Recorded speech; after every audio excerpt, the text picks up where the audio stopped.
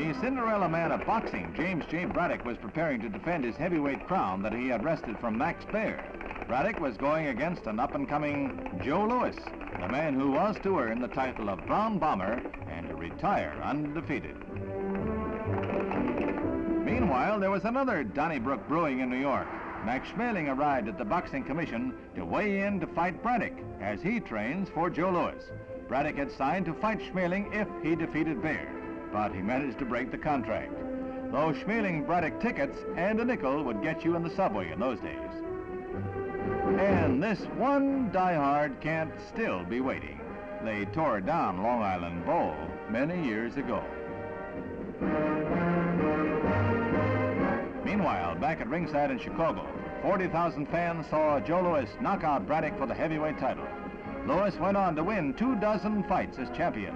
His victory triggered riotous celebrations in Harlem and elsewhere as he became the first Negro heavyweight champion since the days of Jack Johnson.